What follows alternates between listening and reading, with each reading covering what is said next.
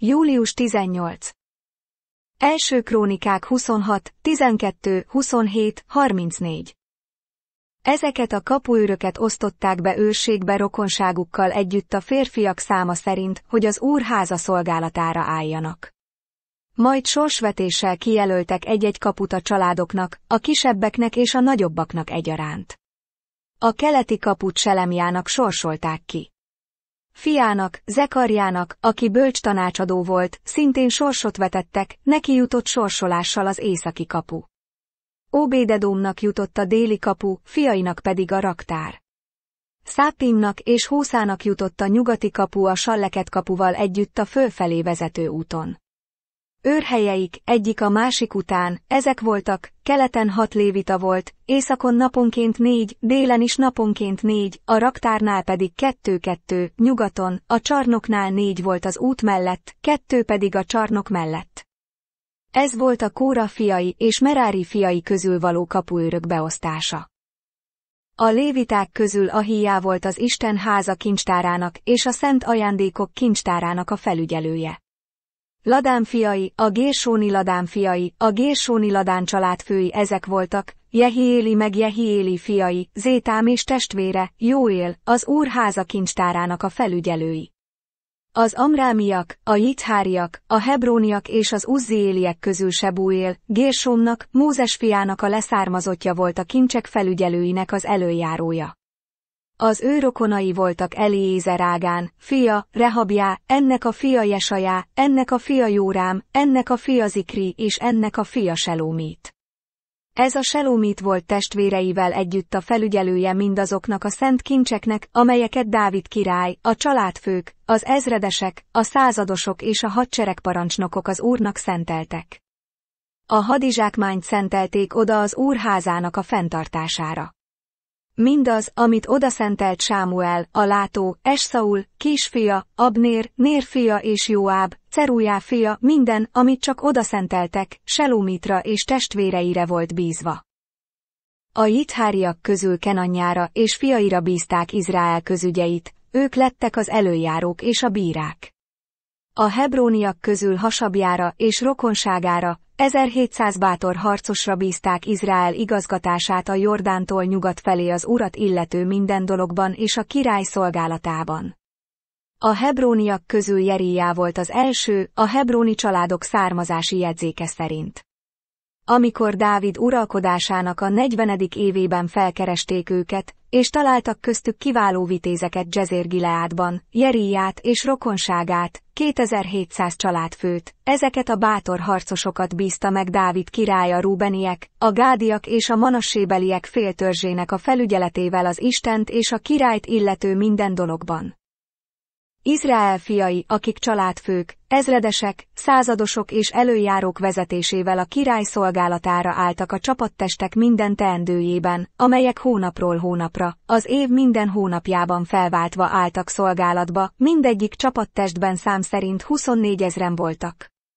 Az első hónapban szolgáló, első csapattest élén Josobám, Jabdíje fia állt. Csapattestéhez 24 ezer ember tartozott. Ő Pérec leszármazottja volt, ő az első hónapban szolgáló csapatok parancsnokainak a feje. A második hónapban szolgáló csapattest élén az Ahóhidóda járt. Egyik csapatának a vezére Miklót volt.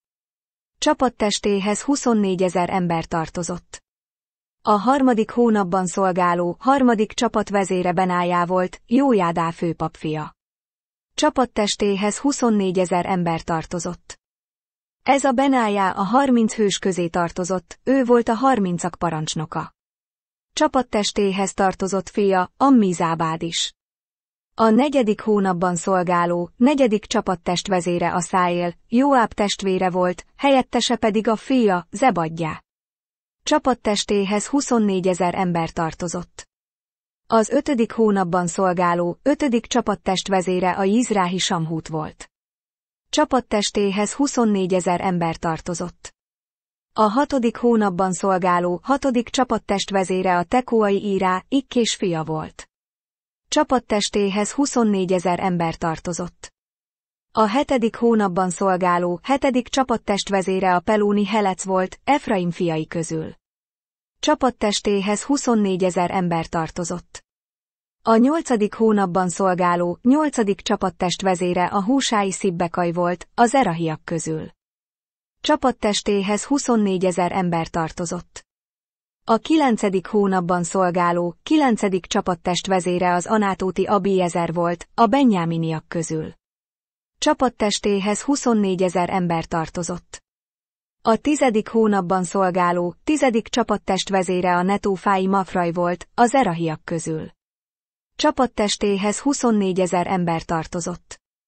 A 11. hónapban szolgáló, 11. csapattest vezére a Pirátóni Benájá volt, Efraim fiai közül. Csapattestéhez 24 ezer ember tartozott. A 12. hónapban szolgáló, 12. csapattest vezére a Netófái Heldaj volt, aki Otniéltól származott. Csapattestéhez 24 ezer ember tartozott.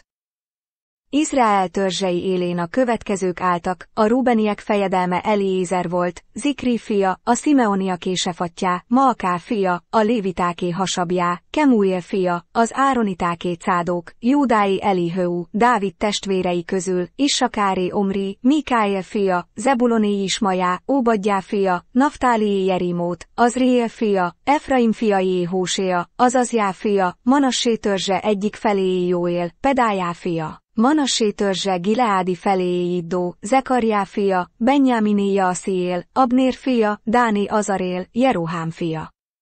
Ezek voltak Izrael törzseinek a vezérei. Nem vette számba Dávid a húsz éveseket és az azon aluliakat, mert az Úr megígérte, hogy úgy megsokasítja Izraelt, hogy annyian lesznek, mint égen a csillag. Joáb, Cerújá fia elkezdte ugyan a számlálást, de nem fejezte be, mivel emiatt gyúlt haragra Isten Izrael ellen. Ezért nem került be ezeknek a száma Dávid király történetének a számadatai közé. A királyi kincstár gondnoka az Mávet volt, a Diél fia. A mezők, a városok, a falvak és az őrtornyok raktárainak a gondnoka Jónátán, Uzziá fia volt. A mezei munkások és a földművelők felügyelője Ezri, Kelub fia volt.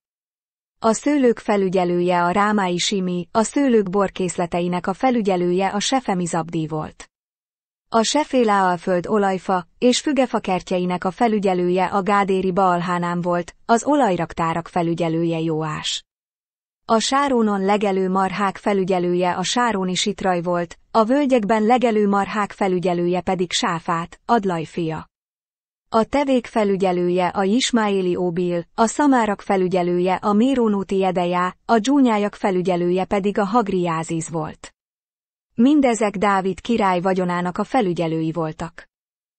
Jónátán, Dávid nagybátyja tanácsadó volt, értelmes és írástudó ember, Jehiél, Hakmóni fia pedig a király fiainak a nevelője volt. Ahitófel a király tanácsadója volt, az Arki húsaj pedig a király barátja. Ahitófel helyettese Jójádá, Benájá fia és Ebjátár volt, a királyi hadsereg parancsnoka pedig Jóáb. Róma 4, 13, 5, 5 Mert Ábrahám vagy az utóda nem a törvény, hanem a hitből való igazsága alapján részesült abban az ígéretben, hogy örökölni fogja a világot. Hiszen ha a törvény alatt élők az örökösök, akkor üressé lett a hit, és hiába való az ígéret, mivel a törvény csak Isten haragjához vezet. Ahol azonban nincs törvény, ott nincs törvényszegés sem. Azért hitből, hogy kegyelemből legyen, és így bizonyos legyen az ígéret Ábrahám minden utóda számára, nem csak a törvényből valóknak, hanem az Ábrahám hitét követőknek is. Ő, ahogyan megvan írva, sok nép atyává tettelek téged, minnyájunk atya Isten színe előtt, akiben hitt, aki megeleveníti a holtakat, és létrehívja a nem létezőket. Reménység ellenére is reménykedve hitte, hogy sok nép atyává lesz, ahogyan megmondatott, ilyen sok lesz a te utódod. Mert hitében nem gyengült meg, amikor arra gondolt, hogy százesztendős lévén elhalt már saját teste, és sára méhe is elhalt. Isten ígéretében nem kételkedett hitetlenül, sőt megerősödött a hitben dicsőséget adva Istennek, és teljesen bizonyos volt a felől, hogy amit Isten ígér, azt meg is tudja tenni. Ezért Isten ezt be is számította neki igazságul. De nem egyedül érte van megírva, hogy beszámította neki igazságul, hanem értünk is, akiknek majd beszámítja, mert hiszünk abban, aki feltámasztotta a halottak közül Jézust, a mi Urunkat, aki halára adatott bűneinkért, és feltámasztatott megigazulásunkért. Mivel tehát megigazultunk hitből, békességünk van Istennel a mi Urunk Jézus Krisztus által. Ő általa járulhatunk hitben ahhoz a kegyelemhez, amelyben vagyunk, és dicsekszünk azzal a reménységgel is, hogy részesülünk Isten dicsőségében. Sőt, dicsekszünk a megpróbáltatásokkal is, mert tudjuk, hogy a megpróbáltatás szüli az álhatatosságot, az álhatatosság a kipróbáltságot, a kipróbáltság a reménységet, a reménység pedig nem szégyenít meg, mert szívünkbe áradt az Isten szeretete a nekünk adott Szentlélek által. Zsoltárok 14, 1, 7 a karmesternek, Dávidé. Azt gondolja magában a bolond, hogy nincs Isten. Romlottak és utálatosak tetteik, senki sem tesz jót. Az Úr letekint a mennyből az emberekre, hogy lássa, van-e köztük értelmes, aki keresi az Istent. Minnyájan elfordultak tőle, egyaránt megromlottak. Senki sem tesz jót, egyetlen ember sem. Nem tudja a sok gonosztevő, akik úgy eszik népemet, ahogy a kenyeret eszik, de az Úrhoz nem kiáltanak, hogy majd egyszer nagyon megrettennek, mert Isten az igaz nemzedékkel van. A nincstelen tervét csúfá tennétek, de az Úr az ő oltalma. Bárcsak eljönne a Sionról Izrael szabadulása. Amikor az Úr jóra fordítja népe sorsát, újjong majd Jákob, és örül Izrael. Példabeszédek 19-17 aki könyörül a nincs telenen, az Úrnak ad kölcsön, mert ő megtéríti jótéteményét.